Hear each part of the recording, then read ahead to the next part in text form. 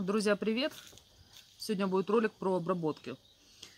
Те, кто давно на моем канале, знают о том, что я не то чтобы сторонник химии, я просто объективно смотрю на ситуацию и понимаю, что без химии сейчас что-либо вырастить ну, практически невозможно. Я имею в виду довести до товарного вида и получить достаточный урожай, такой, чтобы с этого получать прибыль. Потому что все, у кого есть некие объемы, все-таки э, выращивают это для того, чтобы извлекать прибыль. Просто сейчас такая складывается ситуация с патогенами, а также с вредителями, что, к сожалению, без химообработок практически никак. Поэтому очень важно начать обработки рано. Те, кто давно на моем канале, они знают, что у меня есть плейлист «Агрохимия для чайников». Там я очень подробно рассказываю, как правильно подобрать те или иные классы пестицидов, э, на что опираться. То есть вот здесь вот я оставлю ссылочку на тот плейлист, где все это есть. И тем, кому интересно, кто хочет понять, собственно говоря, по какому принципу безопасно подбирать химию, то милости просим. Там достаточно много видео. Чтобы это не было охота на ведьм, чтобы вы понимали, что химия, она тоже может быть безопасная. Главное, обращать внимание на сроки ожидания и правильно подбирать действующие вещества. Поэтому, опять же, возвращаясь сейчас к сегодняшнему моменту, сегодня 12 мая, Конечно, мы уже делали обработку от грибковых инфекций. Это было препараты меди, я использовала бигопик. Сейчас у нас потеплело немного, и вот именно сейчас, сейчас 3-4 часа дня, где-то порядка 15, где-то 20-22 градуса. Оптимальная температура, поэтому прыскать мы будем сейчас. Хочу обратить ваше внимание, что большинство химии активно при температуре плюс 20.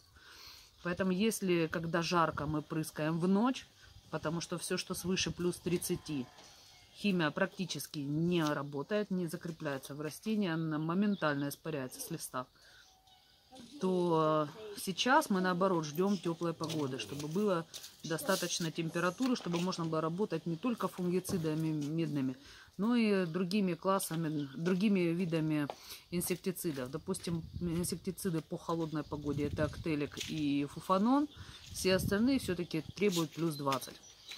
Так, сказала много, будет практическое занятие. Сейчас у нас э, мы используем бензиновый опрыскиватель с бачком 14 литров. Поэтому здесь будет баковая смесь. Что такое баковая смесь? То есть это смесь различных препаратов в одном баке каламбур. Сегодня я не буду использовать какие-либо подкормки в лист, хотя в эту боковую смесь можно добавить и листовые всевозможные минеральные удобрения. Можно не обязательно листовые, можно обычные удобрения для фертигации, просто те, которые будут хорошо, прекрасно растворяться без осадка. С добавлением прилипателя это будет тот же самый эффект. Но я сегодня не буду, потому что сейчас мы активно питаем с помощью фортигации. Сегодня у нас столько препаратов. Какие препараты буду использовать? Ну, Танос. Я очень люблю этот препарат. Классный рабочий препарат. Это один из немногих препаратов, который не только профилактирует, но и лечит. То есть вы можете работать по конкретной проблеме, и он будет прижигать, именно прижигать, уничтожать болезнь. Далее, это фунгицид, кто не знает. То есть это препарат от грибковых инфекций. Дальше я буду использовать обязательно инсектициды B58. Я очень люблю этот препарат еще с помидоров. Тогда, когда достаточно длинная вегетация и до плодоношения еще далеко, это, пожалуй, один из лучших инсектицидов. Он хоть и заявлен как инсектоакарицид, но э, акарицидная активность у него не очень выражена. Поэтому основной и самый главный препарат у меня это аберон. Аберон это прекрасный акарицид. И сейчас очень важно обработать ежевику от клеща. Почему? Потому что те, кто не знает, у ежевики есть клещ, который внедряется в плодоложие и вырабатывает ретарданты. То есть ягода не зреет. Она висит красная, она не зреет. Особенно этим грешит лахтей, те, кто профилактически не обрабатывает.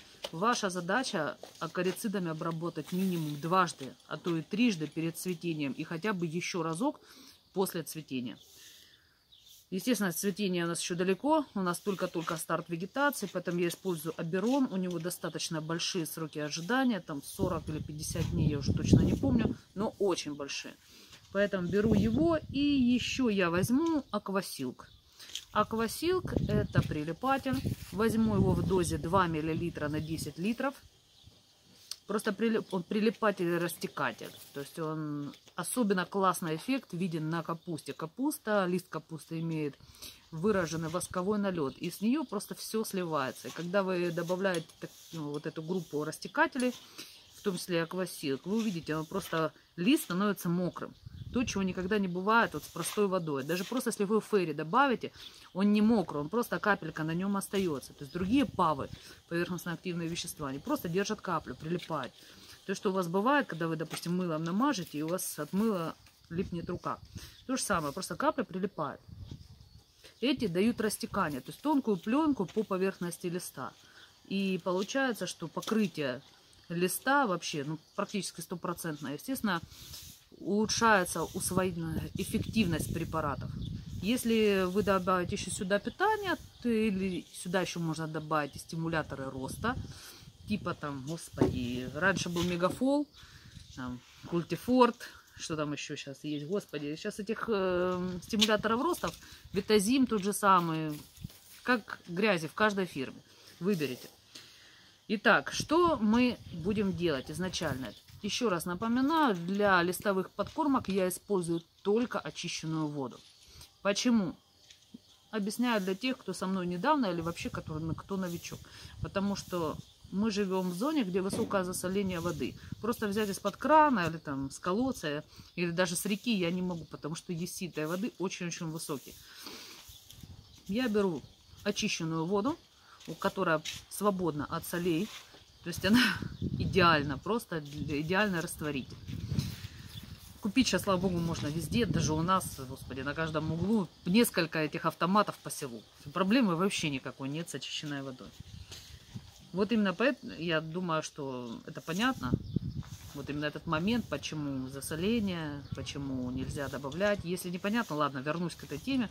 То есть вы, если я в свою воду, которая у меня с реки, и там засоление 2,6, я еще буду добавлять э, какие-то другие соли, грубо говоря, что такое минеральное удобрение, это по сути соли, не все, но большинство, то у меня засоление будет увеличиться, я могу просто пожечь лист. И вот эти препараты, допустим, если я в такую баковую смесь еще эти препараты э, добавлю, то они практически на 60-70% они не работают. Они блокируются, связываются и так далее. Ну, даже если у вас хорошая вода, то есть с точки зрения минерализации на очень низкие EC, у вас там может быть всевозможные илистые частицы, какая-то взвесь, грязь, водоросли и так далее, это тоже будет снижать эффективность. Но опять же, я же говорю, если бы у меня была вода, там, единица EC, я бы даже не заморачивалась, там, и, и тем более, если бы ниже, я бы, конечно, разводила бы в той воде, но...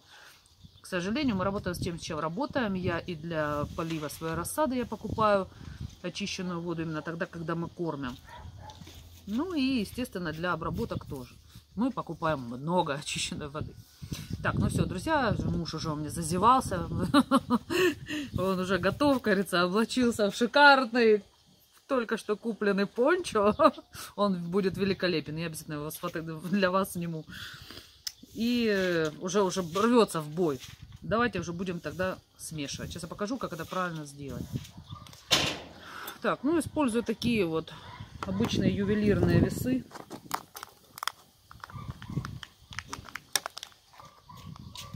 Оттариваю таким образом. Просто включаю вместе с и он сразу оттаривает. Беру Танос.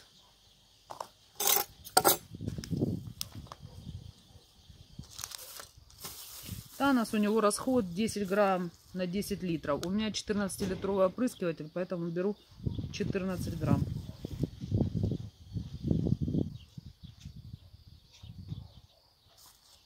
Так, для, для каждого препарата я беру просто баночку с очищенной водой и отдельно всех смешиваю.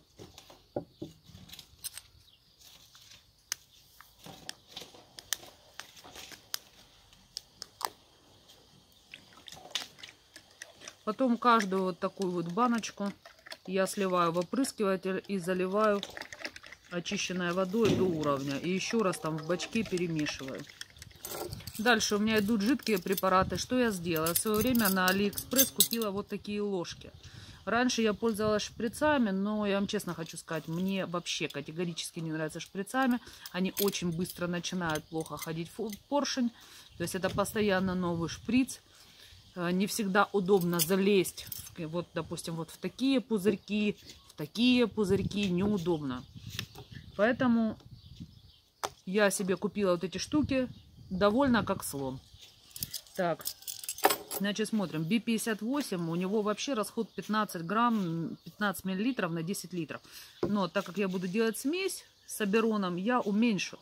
Я сделаю 10 миллилитров на 10 литров. Итого мне нужно 14 миллилитров. То есть я беру, у меня вот тут есть ложечка 15 миллилитров. Я ее не полную сделаю. Воняет он. Ах, вообще, вырви глаз просто. Это какой-то ужас. Если бы я была цикадка, я бы сдохла в трех метрах от него. Капец.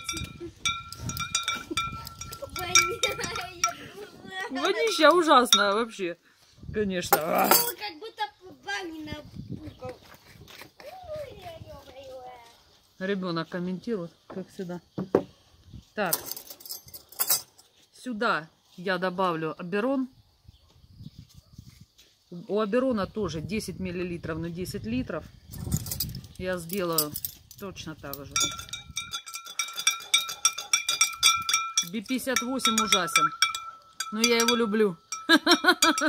Шикарный препарат вообще, шикарный инсектицид. Но только тогда, когда у вас до плодоношения далеко. Многие, честно сказать, его используют не только в лист, но и в каплю. Я не могу сказать, что я, так сказать, сторонница внесения диметата в почву. Но, как говорится, у каждого внутри свой фэншуй. Мой фэншуй мне не позволяет такое делать. Тщательно размешиваю. Сейчас сюда же добавлю аквасилк. Ну и все. Можно смело отправлять моего любимого мужа сражаться с насекомыми и болячками. Аквасилк. 2 миллилитра на 10 литров. То есть сюда добавлю 3. Ну все, друзья, уже пора сражаться.